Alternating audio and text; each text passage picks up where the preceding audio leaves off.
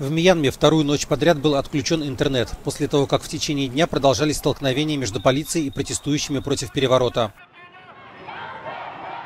Военные предупредили, что участникам протестов грозит до 20 лет тюрьмы. Но по мнению Тома Эндрюса, спецдокладчика ООН по правам человека в Мьянме, ситуацию это не изменит.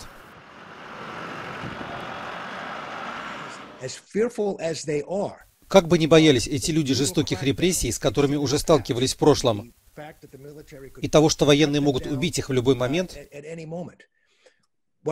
больше всего эти люди боятся возвращения жестокой военной диктатуры.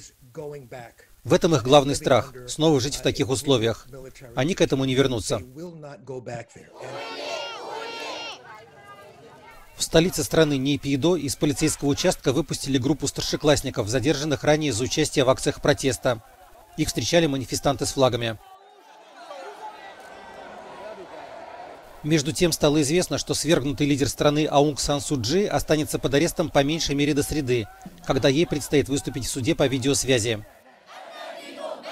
Ей предъявлены обвинения в незаконном ввозе в страну переговорных устройств, семи переносных раций.